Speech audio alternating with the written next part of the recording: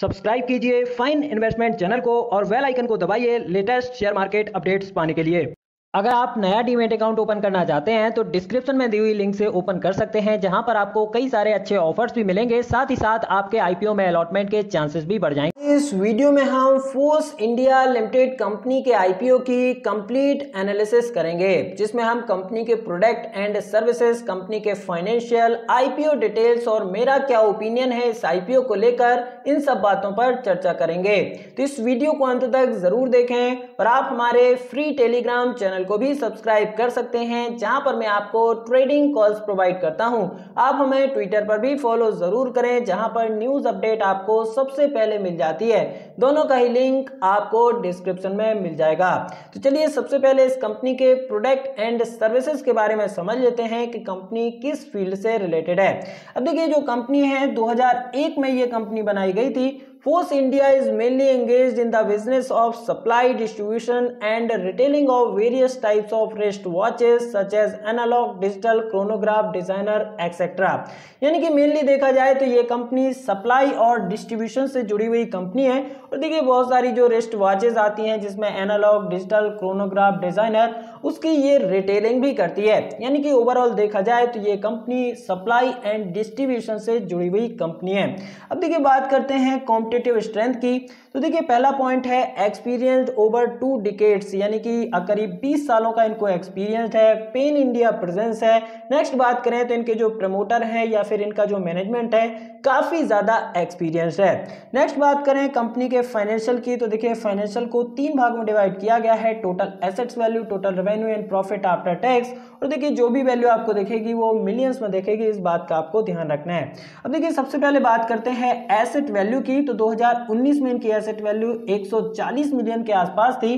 वहीं 2020 में ये थोड़ा सा कम होकर 111 मिलियन के आसपास होती हुई नज़र आई। लेकिन 2021 में अगर बात करें तो तीन सौ चौहत्तर मिलियन के आसपास इनका एसेट वैल्यू होता हुआ नज़र आया। वहीं 2021 की अगर बात करें जून महीने तक यानी कि मार्च से जून महीने तक तीन महीने होते हैं तो इनकी जो यहाँ पर एसेट वैल्यू करीब तीन सौ सतासी मिलियन के आसपास होती हुई नज़र आ रही है। वहीं अगर बात करें रेवेन्यू की तो रेवेन्यू 2019 में इनका 620 मिलियन के आसपास था। वहीं दो, आ, 2019 में सॉरी 620 मिलियन के आसपास था। वहीं 2020 में ये थोड़ा सा कम होकर 544 मिलियन के आसपास होता हुआ नज़र आया।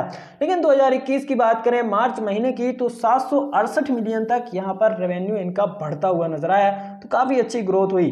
अब देखिए 2021 में अगर जून तक बात करें तो यहाँ पर तीन महीने में यानी मार्च से जून तक अगर बात करें तो इनका रेवेन्यू तीन मिलियन के आसपास हो चुका है। यानी कि ये सिर्फ़ तीन महीने का है। अगर इसमें आ, हम चार का गुणा करें, क्योंकि हम अगले जो तीन तिमाही हैं, ऐसा मान के चलें कि इतना ही ग्रोथ होगा तो इनका जो रेवेन्यू है, हज़ार मिलियन से भी ऊपर निकलता हुआ नज़र आ सकता है। वहीं प्रॉफिट की बात करें तो प्रॉफिट 15.84 मिलियन का इनको हुआ था 2019 में। वहीं 2020 की बात करें तो 16.07 मिलियन का होता हुआ नज़र आया था।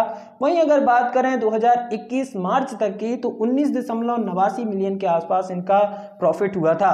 वहीं 2021 जून तक की बात करें तो देखिए अभी तीन ही महीने में इनका जो प्रॉफिट है 15.22 मिलियन के आसपास होता हुआ नज़र आया है। यानी कि कंपनी ठीक ठाक ग्रो करती हुई नज़र आ रही है। ऐसा भी नहीं है कि कंपनी एकदम बैठ रही है। कंपनी थोड़ा सा ग्रो यहाँ पर ज़रूर आपको करती हुई नज़र आएगी। फाइनेंशियल के द्वारा भी आप देखेंगे तो यहाँ पर देखिए, तीन महीने में इनको अच्छा खासा प्रॉफिट यहाँ पर हुआ है। रेवेन्यू भी तीन महीने के हिसाब से ठीक है तो ओवरऑल कहा जाए तो फाइनेंशियल ठीक ठाक यहाँ पर लग रहे हैं। वहीं अगर बात करें आईपीओ डिटेल्स की तो देखिए ये आईपीओ 13 दिसंबर यानी आज से ही ओपन हो चुका है अप्लाई करने के लिए। 17 दिसंबर तक इसकी लास्ट डेट रहेगी। फिक्स प्राइस इशू है ये। दस रुपये प्रति कुटी शेयर इसका फेस वैल्यू है। और आईपीओ प्राइस की बात करें तो दो रुपए में आपको एक शेयर मिलेगा। लॉट साइज़ की बात करें तो 600 शेयर्स रहेंगे। और मिनिमम आपको 600 शेयर्स के लिए ही अप्लाई करना है। लिस्टिंग की बात करें तो एनएससी एसएमई में ये आईपीओ लिस्ट होने वाला है। वहीं इशू साइज़ की बात करें तो करीब 29 करोड़ का ये इशू होने वाला है। जिसमें से फ्रेश इशू बीस करोड़ के आसपास का रहेगा, वहीं ऑफ़र फॉर सेल करीब 8.78 करोड़ के आसपास का होने वाला है। यहाँ पर ये ज़्यादा अच्छी बात है कि देखिए यहाँ पर जो ये फ्रेश इशू है, ये 20 करोड़ मतलब ज़्यादा पैसा ये कंपनी के पास ही जाएगा और कंपनी के डेवलपमेंट में ही खर्च होगा।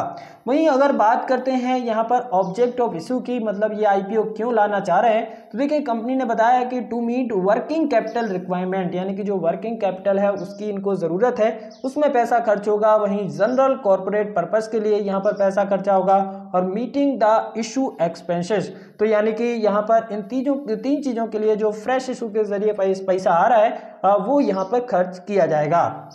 लॉट साइज़ की बात करें तो जैसे कि मैं बता चुका हूँ, रिटेल कैटेगरी में एक ही लॉट आप कर सकते हैं मिनिमम। जिसमें 600 शेयर्स रहेंगे और एक लाख पैंतीस हज़ार रुपए आपको खर्च करने हैं। मैक्सिमम लॉट की बात करें तो एक ही लॉट कर पाएँगे 600 शेयर्स रहेंगे और एक पैंतीस आपको खर्च यहाँ पर करना पड़ेगा। सेम चीज़ें मिनिमम और मैक्सिमम सेम ही रहता है रिटेल के लिए। अब देखिए, बात करते हैं, इस आईपीओ में अप्लाई करना है या नहीं करना। फाइनेंशियल की बात करें तो ठीक ठाक है और जैसे कि आपको पता होगा कि जनरली एसएमई आईपीओज में मैं अप्लाई करने की सलाह नहीं देता हूँ, क्योंकि देखिए, इन आईपीओ में अप्लाई करने के लिए आपको ज़्यादा अमाउंट की ज़रूरत होती है और देखिए, अगर कहीं मार्केट इधर से उधर हो गया तो आपको बहुत ज़्यादा लॉस भी हो सकता है। और देखिए, जो एसएमई के थ्रू कंपनीज़ आती हैं, वो काफ़ी छोटी होती हैं और उनके बारे में हमें ज़्यादा इन्फॉर्मेशन होती नहीं है। तो इसीलिए मैं यही कहूँगा कि इस आईपीओ में भी आपको अवॉइड करना चाहिए। इस आई को अप्लाई नहीं करना चाहिए। और देखिए, बहुत सारी ऐसी कंपनीज़ के आईपीओ अभी मार्केट में हैं, जिनको अगर आप अप्लाई करते हैं और अगर आपको एक भी लॉट मिल जाता है तो आपका पैसा डबल होता हुआ नज़र आएगा। तो आप उन पर ध्यान दें, ना कि इसमें आपको अप्लाई करना चाहिए। तो मेरी तरफ़ से देखिए आईपीओ में अवॉइड करने की सलाह रहेगी। लेकिन फिर भी अगर आप इसमें कुछ भी करते हैं अप्लाई करते हैं अवॉइड करते हैं तो अपने फाइनेंशियल एक्सपर्ट से आपको ज़रूर पूछना चाहिए। क्योंकि देखिए, हो सकता है कि आईपीओ में अच्छा खासा पोटेंशियल हो और लिस्टिंग के बाद ये और भी ज़्यादा ऊपर जाता हुआ नज़र आए। तो आप एक बार अपने फाइनेंशियल एक्सपर्ट से सलाह ले लें। मेरा मानना यह है कि इन आईपीओ में कम से कम छोटे जो निवेशक हैं, जिनका कैपिटल काफ़ी कम है, उनको इस आईपीओ से दूर रहना चाहिए। और देखिए, यहाँ पर क्योंकि दूर रहना ही सही है, क्योंकि मेरा एक ही मकसद है कि हमारे निवेशकों का लॉस नहीं होना चाहिए, चाहे प्रॉफिट थोड़ा सा कम हो जाए। तो देखिए, इसी उद्देश्य से हम यहाँ पर आपको बताते हैं। और देखिए हमारे चैनल को अगर आपने सब्सक्राइब नहीं किया है तो सब्सक्राइब कर लें। आज की वीडियो में फ़िलहाल इतना ही। धन्यवाद।